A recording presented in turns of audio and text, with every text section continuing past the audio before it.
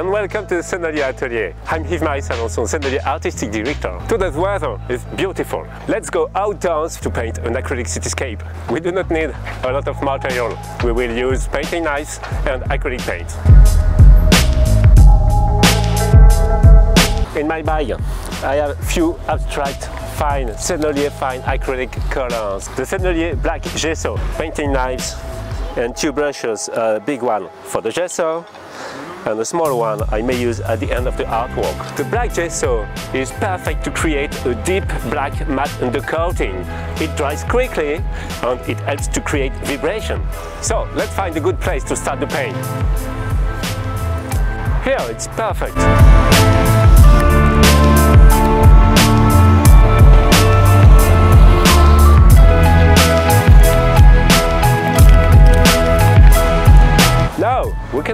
Colors with the palette knife.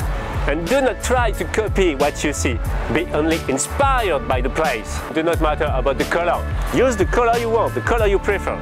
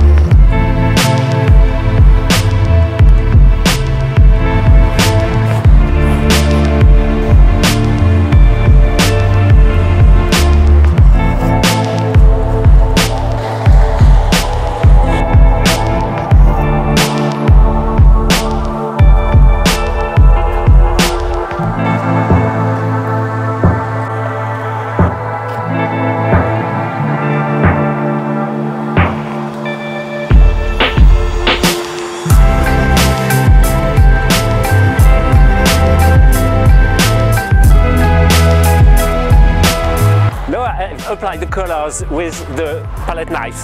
I will use the fine brush just to give few details.